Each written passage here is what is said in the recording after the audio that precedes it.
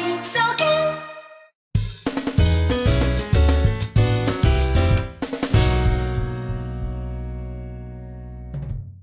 はい、えー、こんにちは。1月の30日水曜日の株と為替の売買シナリオでございます。えー、現時刻3時34分40秒という時間帯でございます。今日もまたいくつか資料を持っておりますが、えー、まずは、えーまあ、本日の東京市場振り返りの前に昨日のまあ、昨日というか、朝方のですね、えー、海外動向というところで、特に、ポンドにおいての大きな影響あります。ちょっと見づらいかもしれませんが、一直線に下がっております。えー、で、何があったのか、英国議会において EU 離脱の大概の採決がなされました。で、もう各種報道、取引画面内でも皆さんご存知かとは思いますが、えー、納税、えー、納税じゃないですね、ごめんなさい。離脱、えー、納税は全然関係ないですね。離脱の延期の動議が否決されましたと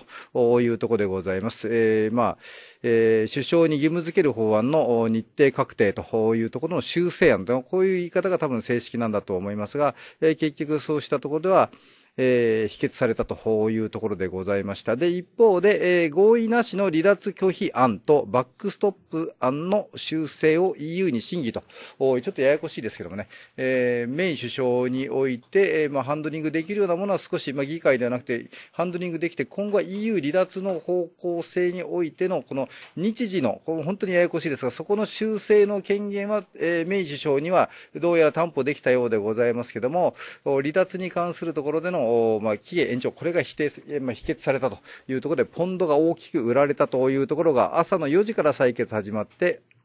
まあ5時からずっとポンドがぐっと下がってて、東京市場時間はほぼほぼ横ばいというところでございます。まあポンド円とポンドドル。で、ここにおいてはもうほとんど東京市場はこれ以上これ以下なくちょっと咀嚼しきれなってなかったというのが正直な動きだったかと思います。で、本日のでは今度東京市場でございますが、一部報道などもありました。私今当初ですね、バイオ関連銘柄というふうにちょっと言葉を選ぼうかなというふうにして思ったんですけども、もうもう各種報道出ておりますので、東証マザース3倍をえこちらの方がストップ安になったというところで、えー、東証マザースのところもですね、えー、気負い率が非常に高いので、これは日経平均株価でございますが、えー、マザース指数がぐっと下がったことによって、一緒になって日経平均のところもあまり耐えきれずというところでじりじり下がってしまったというところでございます。まあ、知見の結果があまりよろしくなかったというところなんですけども、まあ、そうしたところでは製薬関連のところもちょっと飛び火を受けたという状況でありますが、一方でドル円レートの方は今日30日ということで5等日だったんですが、中値の需給といういうのも9時55分に向けて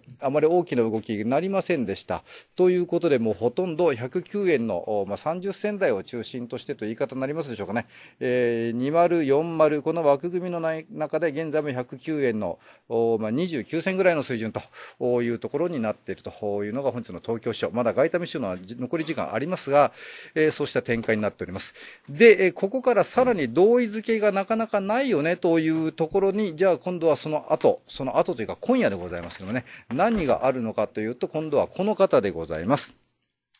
えー、リキアの FX 道場、ブログのところで書かせていただきました。今夜のテーマというのはもう FOMC というふうにして見ております。去年の6月でございますけども、えー、今今後は、ね、毎回毎回 FRB、FOMC 連邦公開市場委員会を行うたんびに、えー、パウエル FRB 長記者会見するよというような動きの中で今回今年初めてというところで、本当だったら3月までお預けだったはずなんですが、さて、えー、今回のテーマは何なのか、つい先日、ウォールストリートジャーナル、米国の経済誌で出ておりましたけども、要は金融政策の正常化に向けてというところで購入していたマーケットから買い取りしていたのをこれ縮小するというような形で、要はマーケットに吐き出すよという動きが、えー、ずっと続いてたんですが、それをも停止させるんじゃないかというような動きになっているというところでございます。えー、そうしたところでの見通しと、今夜は、まあ、このパウエル FRB 議長がどのような、まあ、本当に、えー、ハト派的な姿勢をさらに強めてくるのかどうか、えー、米国株式市場にはおそらくプラスに転じるというふうにして見ておりますが、米債だとか、米ドル、こちらの方にはちょっとネガティブ。ただし、米株の反応、ポジティブ反応動向次第によっては、ちょっとドル円も、えー、一緒に牽引されてくるのかな、リスクになってくるのかな、ちょっとそうしたところも踏まえて、今夜非常にややこしい展開になりそうだというところで、今回の売買シナリオ、こちらでご案内させていただこうかと思います。ドル円からでございます。109円の15銭から109円の55銭。1555の予想レンジとさせていただきました。A 案の方は9の15で買って9の45で売る30銭幅狙い。で、アゲンスト20銭リスクということで108円の95銭。買った場合はここで損切りというところで設定させていただきました。で、一方で B 案。109円の50銭。ちょっと引き付けていってここで売り足し。買い戻しは109円の25銭。え25銭幅狙いで、アゲンストも25銭ということで109円の75銭。ちょっとこちらの方は深めにというイメージでございますけども、えー、まあまあ買ってるところのところでも30銭幅狙いというところでは、まあ結構ずずしいところなのかもしれませんが、要は109円の、えー、台のが維持できるのかどうか、で、ずっと本邦企業群などの、本邦銀行などを通じてのドル買いというのが指摘されている中で、今日ご当日だったんですが、それほどびっくりするほど膨れ上がっまあ、吹き上がらなかったねというのが、まあ、インターバンク市場の関係者の、え感想でございますが、深夜ロンドンフィクシングでそして動きが出てくるのかどうか、ちょっとその辺も、え感じますと、まあ、ポンドドルなり、ユーロドルなり、そうしたところで他の通貨のところの主役感が非常に強まっているのかなと。で、特に、で、3月29日の離脱期日、離脱の最終日というんでしょうかね。もう2ヶ月ないわけでございますけども、昨日の、いわゆる英国下院議会での修正案決議、えー、まあ採決あったわけでございますけども、まあまあ非常に失礼な言い方すると、勝手な言い方すると、英国議会が、えー、まあガチャガチャと、ああだこうだとやってるわけですけども、EU 側は何も変わらずにドンと構えてるわけでございます。そうなりますと、えー、まあ今日のと厳密に言うと東京時間、まあ東京、まあシドニー時間、東京アリー時間と言っていいのかもしれませんが、これが終わって、これから今東京時間は3時40分のぐらいでございますけど、3時40分、もうじき3時41分になりますけども、これから1時間、2時間、3時間して、ここで初めて欧州、EU 側、EU の高官から、こうした英国議会の決定に対してどんなことを言ってくるのか、えー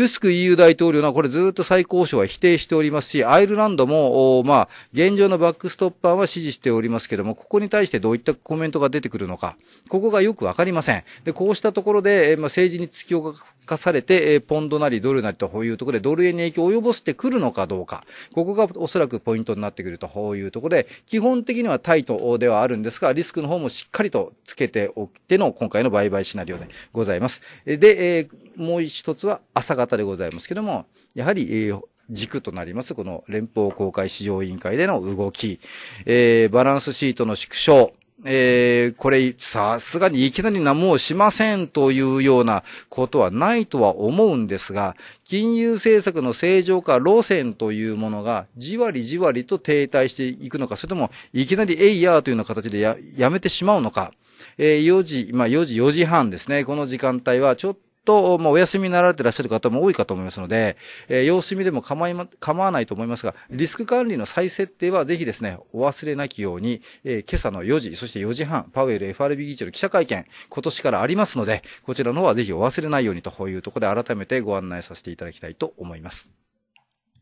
日経225東京金融取引所クリック株365での225指数でございます。現時点が2万トンで690円ぐらいという水準でございます。で、今回の予想レンジ、2万トンで550円から2万トンで800円、ちょっとまたいだ形になっておりますが、えー、上値の抵抗線、下値の抵抗線、グレーのところ、ここをちょっとチェックしていただければと思います。それぞれ切り上がってる、切り下がってきてるというところで、徐々に徐々に、まあ、えー、タイトな形になってきておりますが、基本的には550円から800円の予想レンジとこういうふうにして見込んでおります。A 案は550円で買って650円で売る。そして損切りが2万トンで450円ということで100円幅イーチ。B 案の方ですが2万トンで750円。ここまでちょっと引っ張ってきて売って、買い戻しが2万トンで600円。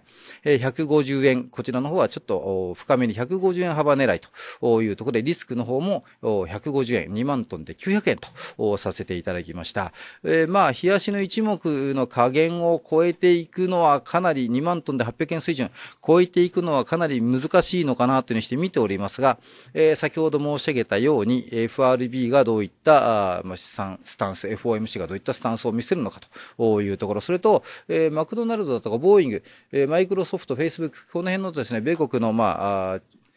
えー、まあ、ある意味、ね、メジャーなあ銘柄、決算発表されますので、えー、そうしたところの影響というのも当然あるのかなというふうにして見ております。まあ、この辺はちょっと慎重にというところだと思いますが、さてで、本日の東京市場でございますけれども、結果として4業種のみの値上がりというような形になってしまいました。えー、マーケット、ちょっとディフェンシブ関連というところではあまり大きく、まあ、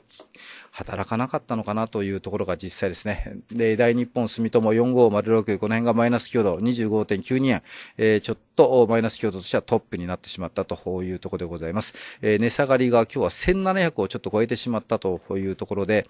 えー、まあ、なんとも言い難いところだとは思うんですけども、マーケット、米国主要産指数がまちまちだった中で、今日は久しぶりに、久しぶりと言っていいのかどうかちょっと微妙な言い方ですけども、マザー指数の急落、まあ、先ほど申し上げました銘柄、えー、ちょっと特定の銘柄に引っ張られて連想ネガティブな形で、まあ、売りが売りを呼んだのかなというイメージ。えー、よくちょっとか、あの、まあ、周辺環境を思い起こしていただければと思いますが、外部環境は大きな変化はないので、明日に向けてこのまた FRB がどういった形でですね、特に株式市場にポジティブな反応を示すような、えー、材料を残してくれるのかどうか、この辺がおそらく宿題になっての明日、えー、今月最終日になるのかなというふうにして見ております。早いもので今日が1月の30日で、明日が1月の31日で最終日。で、ちょっと気持ちが中途半端な形なんですが、2月の1日、金曜日、月が変わっての金曜日というところで、今週はちょっと、えー、月末月初というような動きになってくるかと思いますが、ポジション調整的な動きというのも出てくるかもしれません。まあ、月末月初というイメージですね。えー、まあ、そうしたところでは、急激な変動っていうんでしょうかね。えー、マーケットのセンチメントと、と関係ないような値動き。ちょっとこの辺のところも十分ごご注意していただいて、リスク管理の方をお忘れなくお取り組みいただければというふうにして思います。以上、1月の30日水曜日の株と為替の売買シナリオでございました。